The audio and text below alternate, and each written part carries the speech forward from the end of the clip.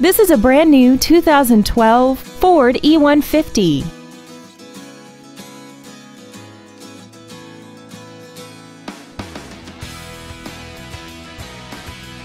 This vehicle is sure to sell fast. Call and arrange your test drive today.